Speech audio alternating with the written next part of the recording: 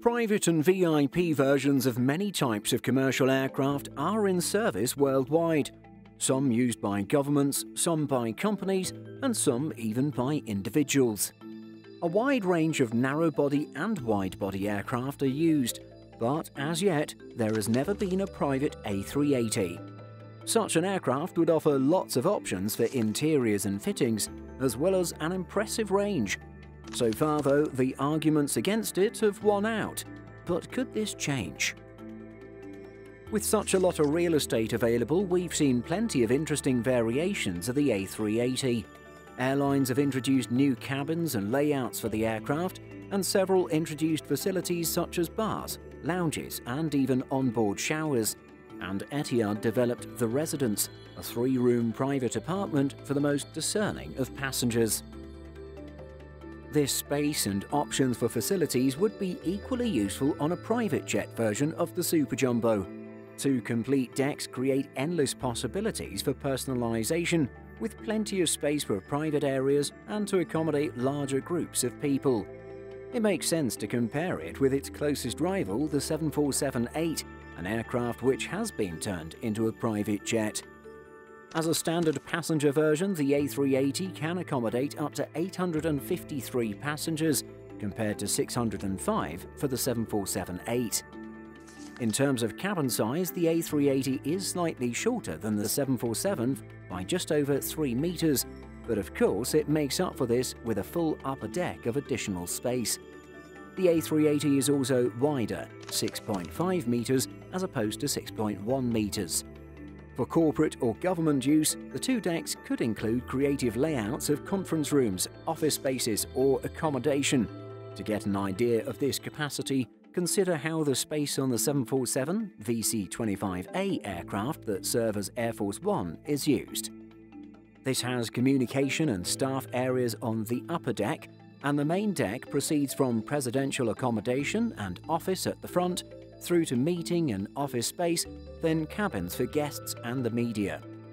The A380 could expand any of these areas or introduce new sections. For private use, the options extend even further. A concept designed for a VIP A380 introduced three decks by using part of the cargo area. This has space for a car garage and Turkish bath, and two full decks of living and working space. The top deck was used as an exclusive residence and lounge area for VVIPs. An A380 private jet would offer an excellent range. Airbus quotes the standard range of the A380 as 8,200 nautical miles or 15,186 kilometres. This is higher than the 747-8 by just under 500 nautical miles. A private jet configuration would carry fewer passengers and seating and therefore would be capable of even longer flights. How much longer is not entirely clear. Airbus's technical data shows that for minimal payloads, the range could be increased to around 17,000 kilometres. That gives the potential for direct flights from the UK and Europe to Australia.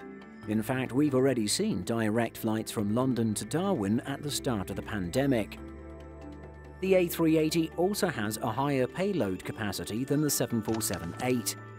Its maximum takeoff weight is 575,155 kilograms compared to 447,700 kilograms for the 747. This gives a payload in standard configuration of 83,914 kilograms instead of 76,067 kilograms. This, of course, is normally more relevant when looking at cargo operations, but depending on a private aircraft's exact use or fittings, a fleet of cars perhaps, it could be relevant. Despite looking fairly promising on paper, we have yet to see a private A380. And possibly we never will. The reasons why the A380 has not worked out as well as hoped for Airbus or operating airlines have been well discussed, Many of these are relevant for a private jet version as well. Size The Boeing 747 has worked as a private jet for several governments and individuals, but there is a limit to the size needed by any private user.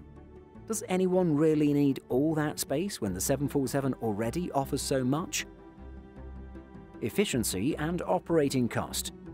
As we've often discussed, heavy four-engine aircraft have had their day. Twins are most efficient with a lower operating cost and can offer a similar range. A private A350 or 777 can take advantage of this. Or even the new 777X for a flagship private jet. Airport restrictions.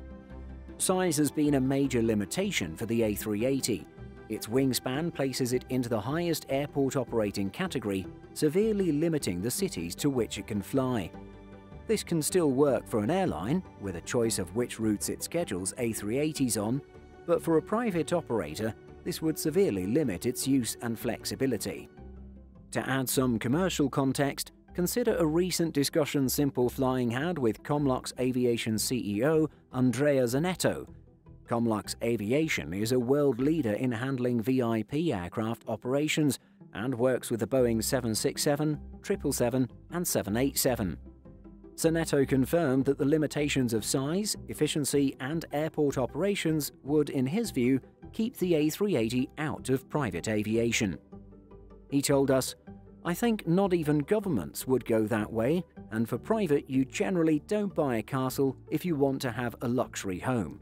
You cannot land anywhere, you just lean to main hubs. This is not an aircraft for private aviation. There are too many limitations on the aircraft. There's also an element of a first mover advantage going on. Boeing has offered the 747 for a lot longer. It has already taken several customers for a private 747. And some operators, including the US government with Air Force One, have chosen to replace them with the 747 8. There is clearly a very limited market for this end of the private jet market, and Airbus came to it much later. Despite the challenges, there have been attempts to launch a private A380. Airbus saw this as a possibility from the outset. It was available as a corporate jet through Airbus Corporate Jets or ACJ, as the A220, A320 family, A330 and A350 still are now. Airbus only confirmed one order for a private A380. This was the so-called Flying Palace, for His Royal Highness Prince Al Walid bin Talal bin Abdulaziz Al Saud of Saudi Arabia. It was ordered in 2007, but for unknown reasons, he never took ownership of it. In fact, the designed interiors were never fitted to the aircraft, and it ended up transferring to airline use. Although the aircraft was never fitted out, its design gave a great idea of what a private A380 could look like based on descriptions in the Daily Mail at the time. With less cargo space needed, there were three decks connected by lift. The lower deck had a car garage and wellness room, featuring a magic carpet floor with images of the ground below projected onto it, and a Turkish bath with marble floor and walls. The main deck would have conference rooms, a concert hall with stage and grand piano, and 20 VIP suites, similar to airline first class suites. And the upper deck would feature five large cabins, each with a king sized bed and a bathroom, along with further lounge space. Air Force One. This never amounted to an order for a private A380, but it is an interesting case.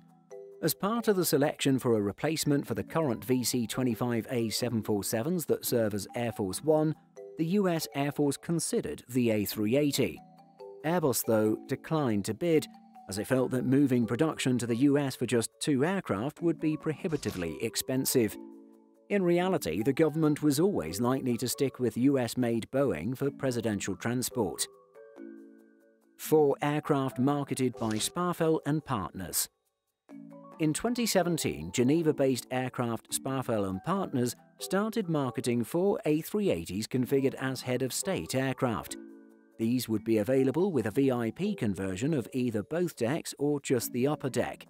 It did not reveal the source of these, but Flight Global reported how they were likely to be ex Singapore Airlines aircraft. Conversions, though, never happened. A lot has changed in the world of flying in the past 18 months. Aviation around the world has seen significantly reduced demand.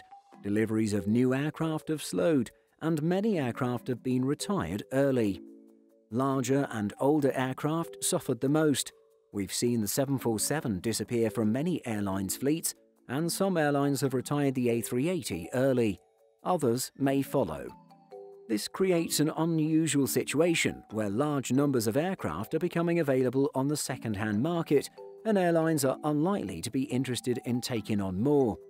Only one airline to date, HiFly, has purchased a second-hand A380. This was a former Singapore Airlines aircraft and was used on various charters by HiFly. At one point, it was interested in taking a second aircraft, but in 2020 confirmed it was retiring the only one it had. As already discussed, previously retired A380s have been marketed as potential VIP transports. There have not been any signs yet of further companies, governments, or private buyers interested in second hand aircraft. But as the aviation market and economies recover post COVID, there could be more interest.